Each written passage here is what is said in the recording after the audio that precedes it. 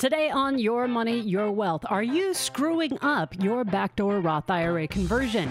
Joe and Big Al will help figure it out. Plus, confirming taxation on a mega backdoor Roth conversion, Roth contribution limits, and selling investments, and how the Medicaid spend down rules affect your Roth IRA. We have yet more discussion on Vanguard's VTSAX and dividend yield, and the fellows will look at various options for saving and investing for minor children and grandchildren. But first, Joe and Big Al take a burning confession about Roth conversions. Click Ask Joe and Big Al in the podcast show notes at yourmoneyyourwealth.com to send in your money questions. And don't forget to tell us all the irrelevant stuff, like what you drive and whether your cat or dog listens to YMYW with you.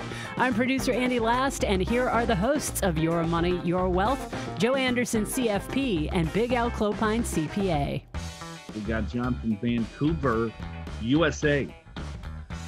I didn't know there was uh, Vancouver in the United States of America. Vancouver, Washington. I thought that. Oh, really? I suppose. Yeah. That's- As opposed to Vancouver, Canada. I I was thinking Canada. Yeah, that's why he specified. Well, I understand. so we, so we know. Um, fellas, we, my terrier Finnick, and I enjoy your podcast during our evening walks. All right. Very cool. Uh, in Vancouver, it's probably getting chilly in Vancouver right now. Oh, Yeah. chilly, but cooling down. Probably so. Uh, good job to all three of you. Question In year 2000, I converted a small non deductible IRA to a Roth. In every year since, I've either contributed directly to the Roth with earned wages or converted amounts from a rollover IRA to the Roth. My burning question for you stems from a burning confession. A lot of burning going on there, John. Oh, yeah, right. Uh, I've never filled out a Form 8606. Uh, Alan, can you believe it? I mean, the I would- I would say- most people don't know what that form is, and I, I'd say a lot of tax preparers don't even know what that form is. So don't feel bad, John. uh, he can't sleep. I mean, the guy. It's That's why I had to write in, right? I, he's like, yeah, I guaranteed. Yeah, he's he's actually from Canada.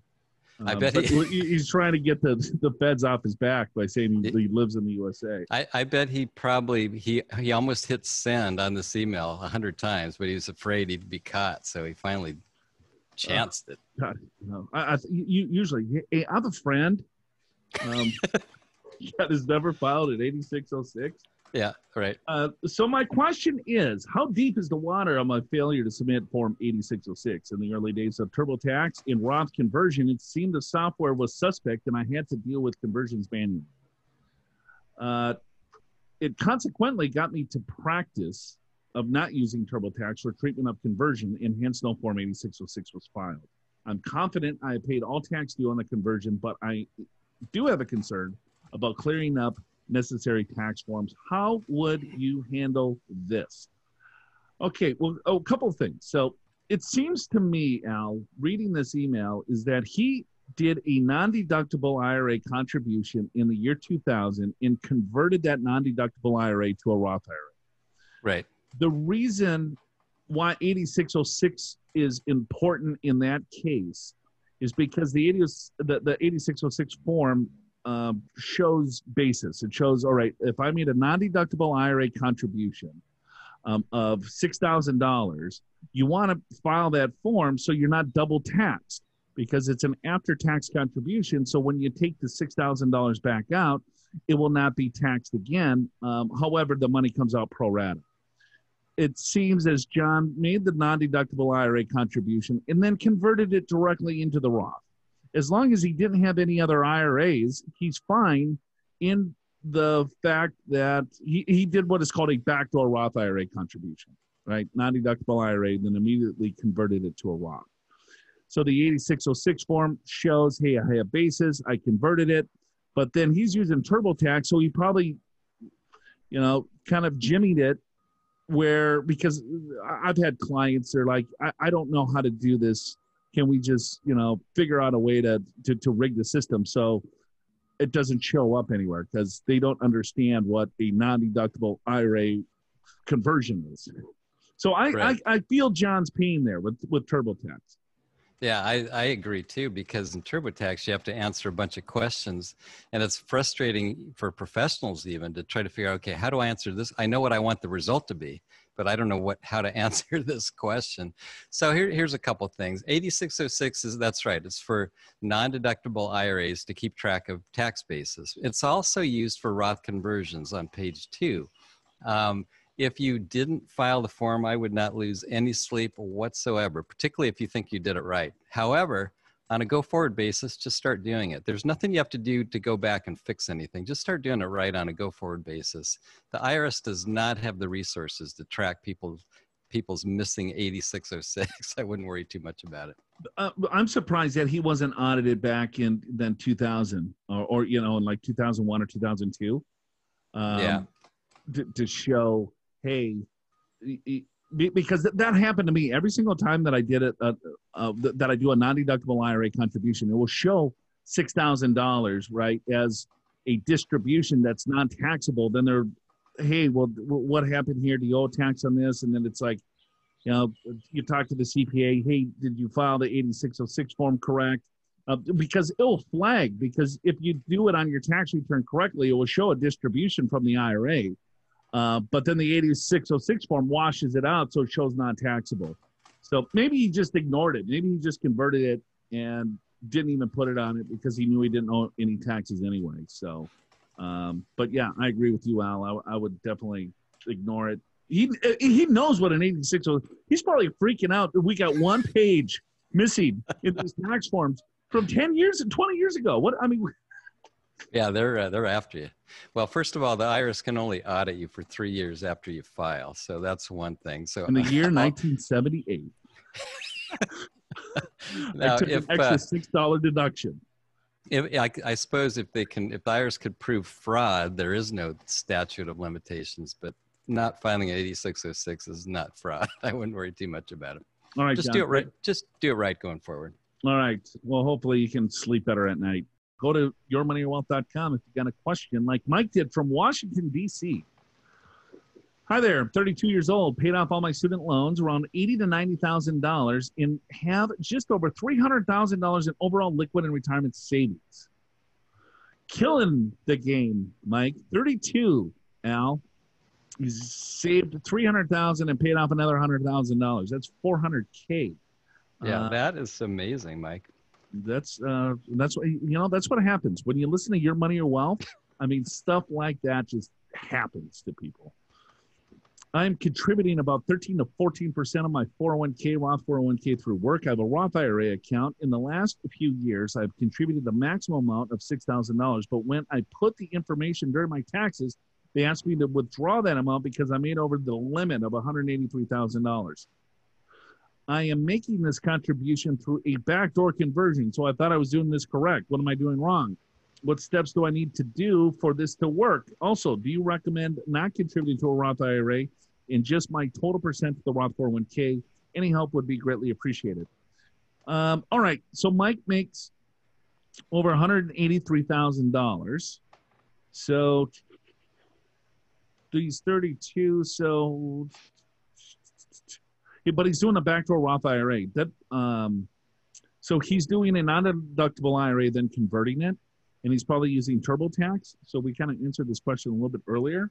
Um, I think he's doing everything correct, but he needs to file the dreaded 8606 form and figure out how to do it on his taxes appropriately. Yeah, or just contribute to your Roth 401k. Much simpler. You get the same impact, right? That's what I would do. Um, yeah, it, it, it makes and- no difference. A Roth, I mean, here's the difference between a Roth IRA and a Roth 401k. Um, a Roth 401k, the biggest difference is that if you have to take a required distribution at age 72 out of a Roth 401k, Mike is 32. It makes no difference. He's going to move the money out of that plan and put it into a Roth IRA to avoid that anyway. Um, if he likes the investments accounts inside his 401k, then by all means do the Roth 401k. Right? Yeah, no, that makes sense. I mean, it's just it, it it's simpler. It's simpler if, if you have extra money though. I mean, if you're not maxing out, I mean, let's say you are maxing out and you still want to put more money into the Roth, then then go for it. But if your income, I think the limits this year are what 193 to 203, something like that, I Yeah. believe, for the phase out, give or take. Um, if your income's above that, you've got to do backdoor Roth, which which means that you shouldn't have any other IRAs. If you do, it blows this whole thing up. But assuming you have no other IRAs, you can continue to do the backdoor Roth at any income level. So that would be a way to do that over and above your 401k. So, yeah, it, sounds to me that he's got everything in a Roth 401k, and then he's got the Roth IRA account. Doesn't have any other IRAs. You make the six thousand dollars a non-deductible IRA contribution. You convert it directly into the Roth IRA. Um, what, what's blowing him up is just how it's reported on his taxes. It sounds like he might be doing his taxes on his on his own. Um, you just have to file the 8606 form, um, which we talked about a little bit earlier. Uh, but you're doing everything okay, Mike. Congratulations, actually. Um, you're you, you're doing a phenomenal job. All right, Deborah from California. Uh, when doing a mega Roth in later year, doing you get hit when taking distribution on tax for earnings growth that it makes. People, you gotta you gotta read you gotta read what you write us. when doing a mega Roth, um, in later year, doing you get hit when taking a distribution on tax for earnings growth that it makes.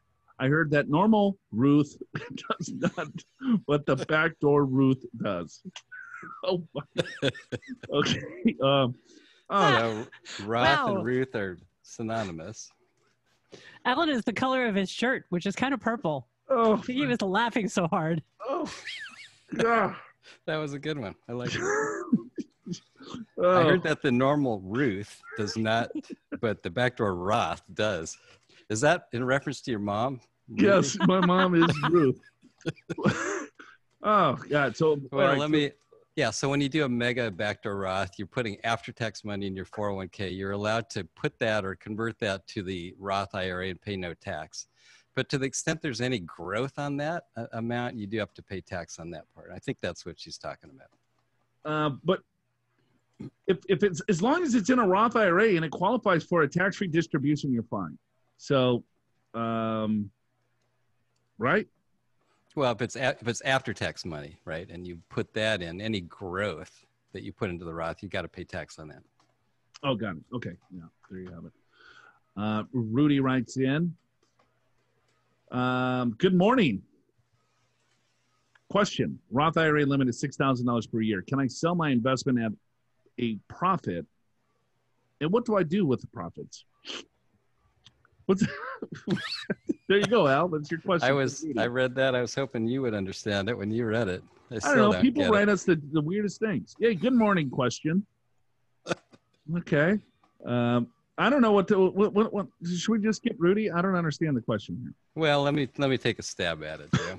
He's got a So, uh, IRA, 60,000. Can I sell my investment at a profit and what do I do with the profits? I don't know what So the hell he's talking about. well, if he's talking about he's got he's got profits in his stocks and he wants to sell the stocks to contribute to a Roth. If that's what he's saying, you pay taxes on the profits, capital gains if you've held them for more than a year, and you take that net amount and you put that into a Roth IRA up to six thousand dollars. If that's what you're talking about, great. Or maybe he's talking about uh, gains in a Roth. You don't pay any taxes in a Roth. It's tax free forever. That's the reason why you get the money in there in the first place. You can buy and sell within the Roth, and then you don't pay taxes. So there's two angles there, and unless you can think of a third one. Oh, got it. Understand. uh, we got DJP. Okay. I've had my free assessment. However, you keep talking about Roth conversions. We were told not to convert, but keep adding money to our 401k. I'm 63 years old, plan to work until 70. I have $100,000 in my 401k. My employer stopped match due to COVID. I would like to confirm that I have received the correct advice. Um, well, let's see. You got $100,000, 401k, you're 63, you're going to work another seven years. Yeah, I don't, th- th- there's not a lot of money to convert. And so when you, depending on how much money that they want to pull out, um, it- you're probably going to continue in the lowest tax bracket. So, Yeah, I'm thinking the the hundred thousand in the 401k, and maybe in seven years it's 200,000 with contributions. Let's just throw out that number. And then we would say your RMD at age 72 is going to be about $8,000. It's not going to blow you up in a high tax bracket. Maybe you're in a higher tax bracket now than you will be in retirement. So it didn't make a lot of sense. But we don't, uh, you know, based upon this question, we don't really have enough information.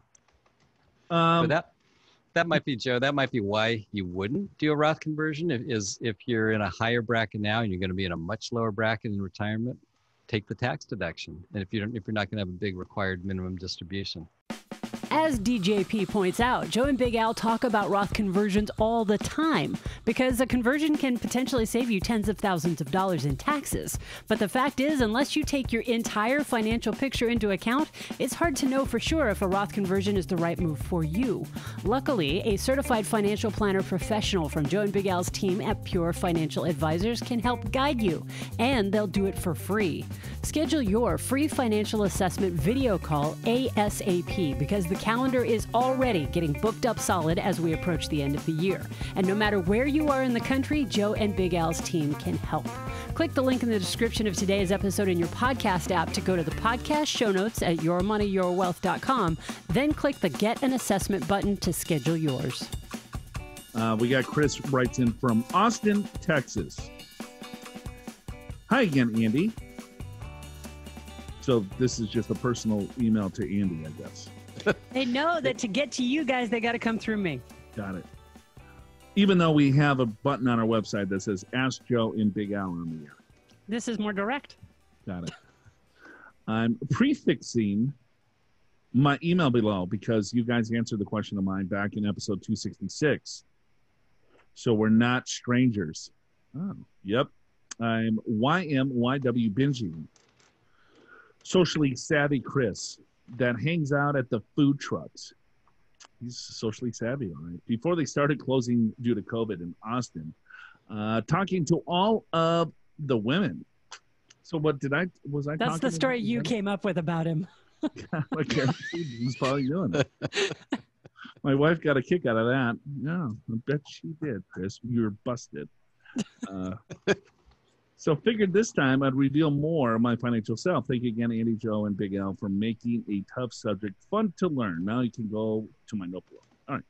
So, hi, Andy. I listened or watched you guys and think I've almost been on all of your YMYW shows. You produce an awesome show. Um, so he's kissing ass. First two paragraphs is just all Andy. We should just delete that and just give me the meat, Andy. Duly noted for next time. Got it. Um, I'm kidding, Chris. I love hearing about your life.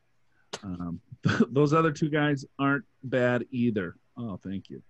Uh, you have been so beneficial to my understanding where we might stand financially or should be taking action. Let me start by saying this isn't totally about me. We're married and live in Austin, Texas. I'm 64. My wife is over 70, and she's already retired drawing Social Security.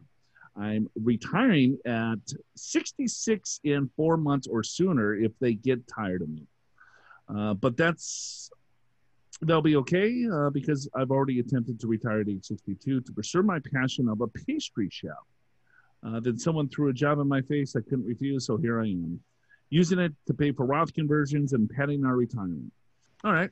So he doesn't plan on drawing Social Security until 67 or 70 uh, depending on how we're managing our funds and our health.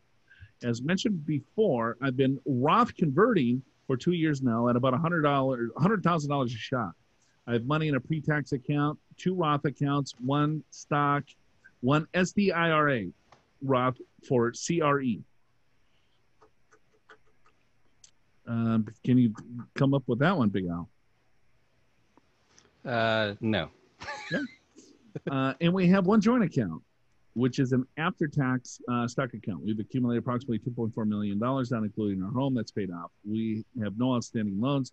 Is there anything else you could suggest we do to fine-tune our retirement route? I'd be honored to hear it. So I think he, he's doing quite well, right? So he, he retired at 62. He wants to be a pastry chef. He's going to draw Social Security 67 to 70. Maybe, you know, he's like, I'm going to retire at full retirement age, maybe sooner, depending on if someone kind of you know, it makes me upset. I'm just going to go put on my little hat and apron and, and make some cookies. Uh, I like it. so he's using the cash that he's getting to convert.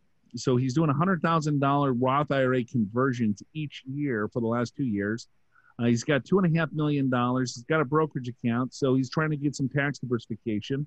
Uh, probably doesn't spend a lot, and then hangs out at the the food trucks. You know, pitching his cookie in, and cupcake ideas. Right? He's going to get a food truck in Austin called Chris's Cookies and and more. and more. Yeah, they, I like it.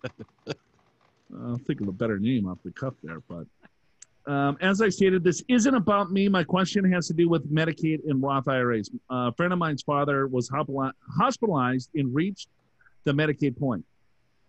They were told that they were lucky that they didn't have a Roth IRA, or they would have to use that before Medicaid would cover them.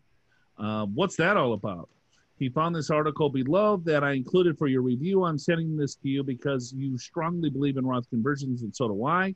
But until this, I couldn't see a downside to Rothing out at least to a point where there's enough to cover using pre-tax RMDs to stay in low tax brackets. I want you guys to analyze on the subject, though it may not fall in your areas of expertise. That would be beneficial to your listeners. So, Al, did you um, did you read the article? I did, uh, and he's right. The article basically says that an IRA doesn't count for most states for Medicare. You know, with, with Medicare, Medicaid, to get to a nursing home, you have to go through all your assets. An IRA doesn't count because it's in payout status, whereas a Roth IRA does not have an RMD, and it could be you might have to bleed it all out. We're in California, Alan, so we call it Medi-Cal, uh, but he's in Austin, Texas, so Medicaid. And, and basically, for anyone to get onto Medicaid or Medi-Cal, you need to be destitute. You need to be broke, just about. Um, so there's something that's called a Medi-Cal spend down, and there's a ways that you can avoid paying for care with your own assets, uh, because there's a there's an asset uh, requirement, and then there's a I mean there's a they look at your assets, and then they also look at your income. And so if you have a lot of assets, they're like, well, no, you have enough assets to pay for your care. So you're going to pay for your care until you're flat broke. And if you're flat broke, then the government is going to take over and we will help pay for your care. It might not be as fancy of care. You might have to go to maybe a different facility or wh- whatever. Um, but that is a benefit by being a U.S. citizen is that we do have health care uh, for elderly that might not have the resources to pay for it. So far, so good. Yep, you're right on track, Jay. Okay. And then Chris is saying, hey, man, my, my, my buddy's dad, they were saying, man, I'm glad he didn't have a Roth IRA because he would have to spend his own assets to pay for his own care. Imagine that. Yeah, that's that's so what the there's article. ways you can get around that is by, you know, doing some gifting, turning your assets into income, and certain, I guess, strategies that are kind of on the edge of almost kind of illegal. Yeah, and, and that's right. And, the, and what this article, this is written by Ed Slott's group, which is actually probably the foremost authority on IRAs. So we tend to trust what they have to say. And that is true. To get onto to, to Medicaid or Medi-Cal in California, you've got to spend down your assets. And, and so what the article says is if you have a Roth IRA, you're going to have to spend it down. If you have an IRA, you don't necessarily have to spend it down because it's a payout asset. There's a required minimum distribution. So that may be true. My experience, though, Joe, is you don't really want to go on a Medicaid facility or Medi-Cal facility if you can help it. And so it's not that they're horrible, but but if you go to a facility that you're paying for, it will be much nicer. Uh, Well, yeah, because you might get your own room versus a shared Right. room. I, I mean, Yes. there's really nice facilities here in Southern California, I, and, and so I don't want anyone to email um, Big Al and yell at. Well, maybe I do, um, because in, in, in some cases you can't really tell the difference of a Medi-Cal um, facility than an, a, a standard facility. Um, well, I, I, I, I- so I just, I just go from experience Sure. with my mother-in-law, and we found a decent one because she had run out of money for her assets, but it was not near what she was had experiencing, before of, of course. when when she was on a long-term care policy, and um, It, yeah, shared room. It wasn't near the facility. So that's all I'm saying is is if you can pay for it, if you have the resources to pay for it yourself, you, you probably will, or, or at least you'll be tempted to. So anyway, but you're also right, Joe. There there are strategies to do asset transfers. That typically you have to do it. Is it what seven years before? Otherwise, Five there's a or- clawback or something like that. Right. Yeah. You know, because then, or, or th- they annuitize their overall assets to create income, and then those assets then go into like an irrevocable. That that income could f- feed um, another asset in an irrevocable trust that they don't have control over. Then that can get passed to the kid. I mean, there's all sorts of different strat. I mean, there's people that specialize in avoiding, you know, the the Medi-Cal spend down by preserving your assets so you don't give it to the state, but. Um, you know, I guess it's what your goals and what you're trying to accomplish. But yeah, if you do have the assets, um, you know, you pay for your care, so be it if you need it. Um, but if you want to look at different strategies to protect your Roth, th- there are certain strategies that you can potentially do. We got Greg. He writes in. Um, he he gave us an attachment now of a rough draft of a financial plan, I think. Um, but I don't think I have that in front of me, and I don't think we need it. Yeah, but I if think you do that- want to send us your financial plan, it'd take up two hours for us to go through line by line. Yeah, Uh, it's probably, it probably doesn't make you. a it probably doesn't make for a good, good podcast. But I'll just summarize the uh, little financial plan. Was they're spending about three thousand dollars a month, uh, and it sounds like they've got some extra money, want to know how to invest it. So that's Yeah. kind of the extent of the one pager. He- So um, he writes in. He's uh, what, what, what do we got here? Oh, we're both going to retire at age 62 and eight years and seeking help on investing. Uh, my Social Security is going to be twelve hundred dollars a month at 62. My wife doesn't know hers. We will be debt free and RVing full time. What do you think, Al? Do you want to RV in full time? Uh, no, I don't. I, I I think I'd do it for a week or two. All right. Our monthly expenses now is just under three thousand bucks. Beginning in March 2021, I'll free up fifty-two dollars and sixty-five cents a week, and my wife, uh, five hundred biweekly. Should I have this put into my company retirement plan or use outside company to invest? I'm sending a rough draft of what our finances after binge watching on YouTube all day Saturday and Sunday morning. Uh, you in Jazz Wealth. So a little promo there to Jazz Wealth. I don't know Yeah, I what Jazz Wealth is. You know what Jazz Wealth either. is? No. I do. Yeah. He's he's he's a he's a financial planner and he's super popular. He's What, what, what, what, so he's looking to save a five hundred and fifty-two dollars. So Yeah. what should should he put in his four hundred one k plan or should he contribute outside? Yeah, well, generally you would use the 401k plan for a couple reasons. One is it's easy, out of sight, out of mind. You know you're going to do it. Uh, typically, a company does a match, you know, so you want to get that. Sometimes your company has a Roth option, which is can be a great way to go. So I think that's usually where you start. And, but I, I don't know when their little financial plan here just as expenses. It doesn't really say what they already have in savings. So I, I, I don't really have enough information. Well, right, so if his Social Security is going to be twelve hundred bucks, um, at sixty-two, so it's going to be what 17, 1800 at full retirement age. So Yeah, I'm guessing he's right. probably in the twelve percent tax bracket. I would probably could look be. at Roth IRAs um, for the money first, um, and then and then go to, to something else because he's in a fairly low tax bracket. Even though he'll probably be in a low tax bracket in retirement, because he's just going to spend just under three thousand bucks. So. Yeah, Yeah, I think still- the easiest the, the easiest way to do is your 401k plan. Just jam as much as you can in there, and then um, and then if they have a Roth option, maybe split it up. Yeah, I agree with that. I think if they have a match, you certainly want to make sure you take advantage of that. And then if they don't have a Roth option, maybe you stop at the match and go fill up your Roth and then you come back to the 401k, maybe something like that. Get ready because class is once again in session. You may know that for years, Joe Anderson CFP has taught retirement classes in person at colleges and universities across Southern California. But now you can take this two day retirement course online from anywhere. Learn how to build wealth and align your money with your values to accomplish your goals in life. Find out how to determine how much money you need to retire, how to properly convert your IRAs to Roth, how to transfer the risk of financial loss before or during retirement, and much more. It doesn't matter if you plan to retire in 20 years or if you've just recently retired. The knowledge you take away from this class can provide financial rewards throughout your lifetime. Click the link in the description of today's episode in your podcast app to go to the podcast show notes at yourmoneyyourwealth.com. View the class schedule and sign up. Space is limited, so register for these two day retirement classes now. Uh, Bruce from Joyzy uh, emails us once again. This show is just not a show without Bruce from Joyzy. I think he's Yeah. He's, He's a regular. yeah. He's I the, love all of our regulars. They're great. he's the fourth um, you know leg of the stool.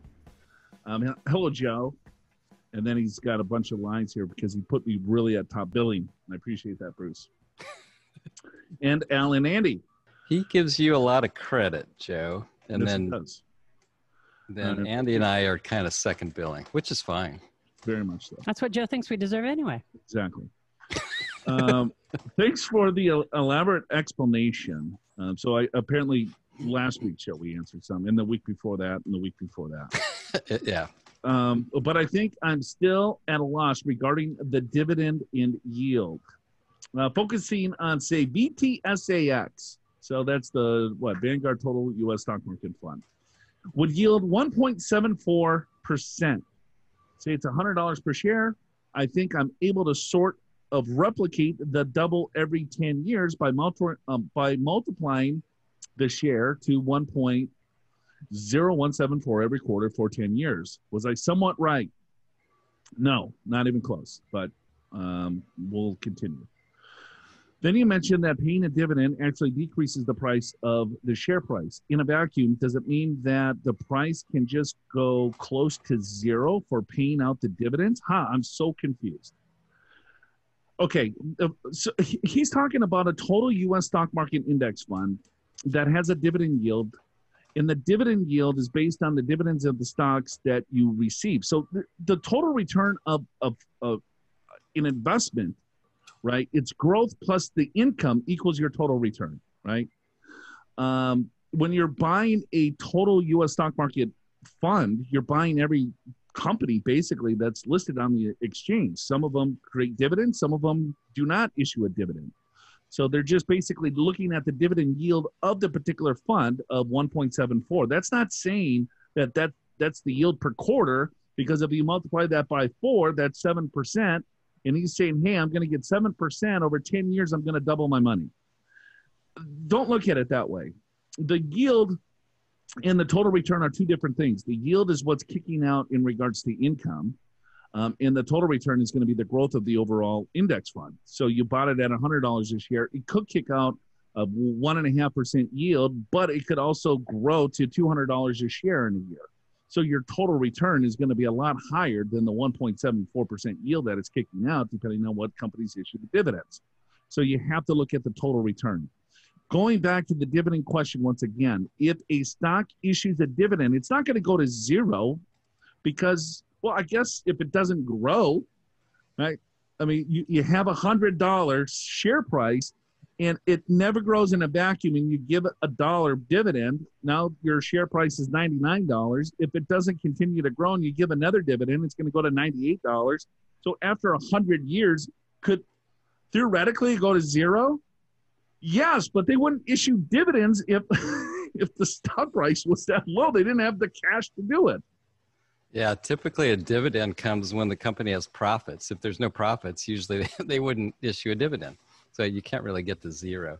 And that, that yield, that's right, Joe. Yield is an annual. It's not a quarterly amount. It's an annual yield. And that's only part of the equation. The growth is the other part to get to the total return. So he's also asking many websites state that VTSAX in the ETF equivalent, equivalent VTI, uh, despite some differences, should actually perform equally uh, since they both track the same companies. Absolutely correct. Don't get too caught up in the weeds here, Bruce. Um, one's an exchange traded fund, one's an index fund. One is, you know, traded a little bit differently. One has a little bit better transparency. One can be traded on the stock market while the other one closes. You buy it at the end of the. I mean, it, they're almost identical. So I'm not going to get too caught up there. You can buy either one of them. Who, who cares? Um, just trying to figure it out, making an apples to apples choice with the total market index fund versus high yield stocks.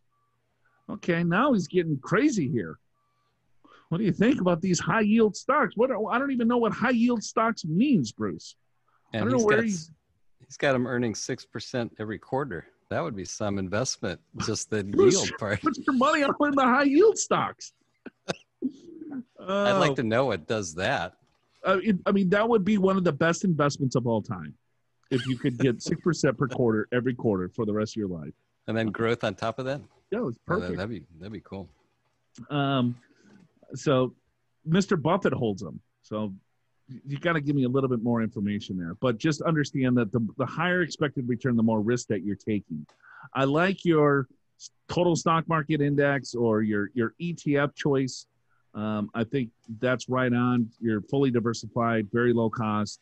Uh, the only issues that I potentially see, depending on how much money that you have, is that you want to diversify out because that's just the total U.S. markets. Um, the more money that you get, you can get better diversification within the U.S. markets by um, maybe overweighting or underweighting certain sectors, maybe certain asset classes. Um, you definitely want to make sure that you have international emerging markets in there. Um, as you get older, you know, then you want a little bit more fixed income safety in the portfolio. So, uh, lastly, for a 13 year old, is UTMA, Uniform Transfer to Minors Act, or opening a brokerage account the best thing until they start working and open up their own Roth? Uh, any one of those can affect the financial aid application for FAFSA, right? Thanks, guys. Still the best. I would just go with a brokerage account. You get a little bit more flexibility. It's in your name. The UTMA account will be in the kid's name. Um, and then you could transfer, you could gift the brokerage account into the Roth once the kid gets its money. Uh, there's not huge tax benefits anymore from UTMA or UGMAs, in my opinion. Uh, let's go to Josh from North Carolina. Hi, Andy, Joe, and Big Al. Love listening to the podcast each week while driving to work in my Tacoma. Yeah, here in beautiful North Carolina. I have no dog but a cat, maybe a little bit more Big Al speed. A cat, huh? Yeah, Big Al has like eight cats. You're a cat person now. I've Big Al never owned a cat. No. You look like a cat guy. You- Do, I, do I was on a But- webinar earlier today, and this lady looked like she probably had 10 cats. Yep. Um, I have a question um, about some advice Paul Merriman gives on his blog. He says if you put $3,000 into a taxable account at your child's birth and invest the money in a small cap value index fund, once they have taxable income, you contribute this money into their Roth IRA. After 65 years, if you get 12% rate of return, it'll be worth $5 million. I guess this can be taken out tax free at this point. However, it only is about a million dollars in today's money after inflation is taken into account. Is this a reasonable way to take a relatively small amount of money and create a reasonable gift for a child at retirement? Or does this math not quite work out? Thanks for all your help. Um, Josh, yeah, I, I, I don't have a calculator in front of me. Maybe Big Al can do the calculation in a couple of minutes. Yeah, here, I, I already did it, Joe. So uh, the answer is the math does work with these assumptions. So 65 years, $3,000 one time at 12% uh, at age 65 is 4.7 million. So Yeah. it, it actually does work. It's actually a great idea. So yeah, if you want to give a gift uh, that keeps giving 65 years in the future, um, who knows? Now, now he's he's referencing, um, let's see, small cap yeah, funds. small cap value, 12 Small cap value. Yeah, and that's historically what it's done over the last century. So will it do that the next century? I don't know, but Yeah. that's that's what it has done. Right. If you got an investment that does 12 percent, that's the, the, the math works. Yep. Um, Give it a shot. Hopefully, you're alive in 65 years to see if it came true. A couple comments. Uh, Marion from Fresno wrote in um, on podcast 290. We referenced 529 plans. I've heard the Utah 529 plan is great because they use DFA funds. Well, there you go. Let's promote the Utah 529 plan. So a, a 529 plan is money that you put in for education. It eh, often you, you'd like to put it in when your when your child is young to let it grow. It grows tax deferred, and if the money is used for education, it's actually tax free. So that's the advantage. You can pick whatever state that you want to to, to choose. Each state has their own investments. Utah apparently has DFA, Dimensional Fund Advisors, which I agree is it's a great fund company, and it's it's a fund company, Joe, that uh, the typical investor doesn't have access to because it's institutional. So here's a way to invest in DFA funds and and not have to go through an investment advisor. Uh, Want to congratulate David T, um, the, our big winner for our survey this year. Uh, thank you all for participating into the survey. It gives us some good feedback and insight on what you want to hear, what we should do, what we should stop doing. Um, actually, we don't really take anything into account. Andy collects the information, and, um, and that's about it. And she tells I- us that we have to change the show. And we're like, no, we're not going to do it. This came up many times though in that uh, that survey, Joe. What kind of car do you drive? Um, what kind of car do I drive? Yeah. Well, we are congratulating David T. here. um, All right, we'll we'll get back to that. You He doesn't want to talk about the big engine on Big Joe.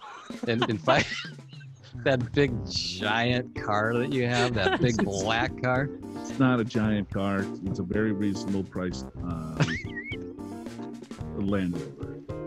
Yeah, Land Rover, right? It's one that takes two parking places. Alrighty, that's it for us. Thanks again. Uh, we'll uh, take a. Well, I guess we're done for the show. We'll see you guys next week. Show's Count Your Money Well. In the podcast show notes, you'll find free financial resources on Roth IRA conversions, investing, and college savings. Click the link in the description of today's episode in your podcast app to get there. And stick around for a few derails coming up shortly.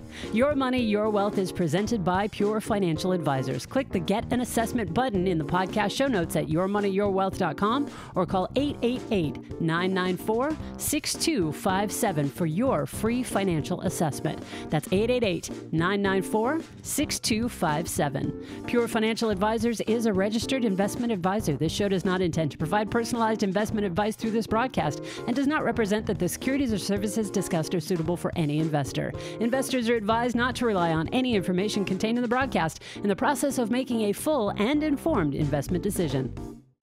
All right, who's got beeping going on? Is that you, Al? Probably. Is there something backing up there?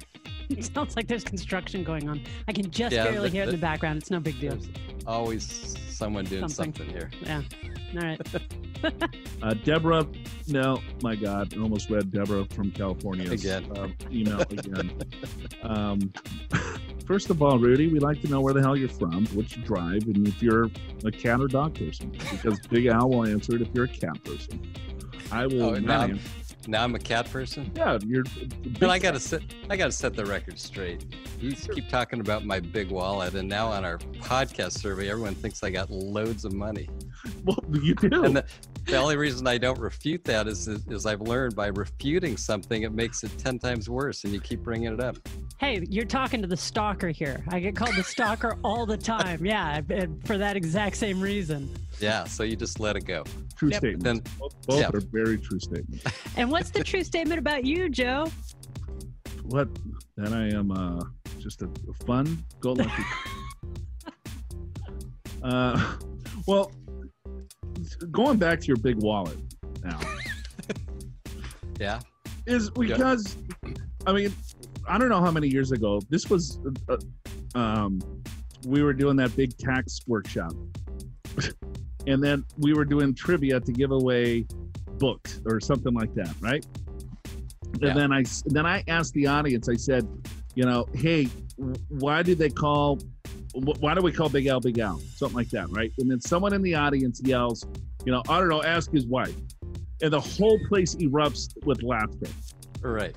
and then so and it, it was funny you know the guy got a book and so the next year so al opens the thing up. He like he's telling his own joke and he can't give that punchline without sounding like a complete pervert Yeah, and I learned that. Thank you for reminding me again of one of my failures on stage.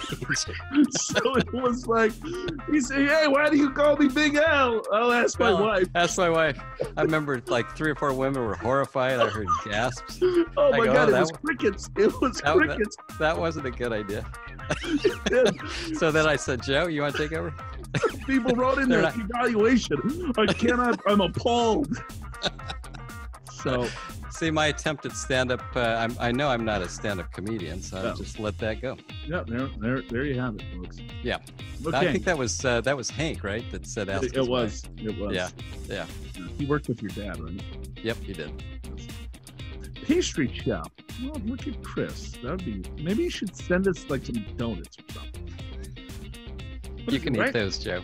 I know I don't eat them, but there's a lot of people here that eat a lot of stuff that you would not believe. You throw some pastry in the kitchen, it'd be like ants, you know, on a, a French fry in the middle of summer in Minnesota. It, it wouldn't last. In fact, things like that get put in the lunchroom, and then Catherine will announce them, but they're already gone before she writes the email. Pastry. What what is a pastry? What what else do they do? pastry? I mean, I don't even know really what pastries are. Is that like cakes, pies, Possibly. donuts? Yeah, cupcakes. Croissants? Cupcakes. Yeah, yeah, whatever. Oh, there you go. Cool.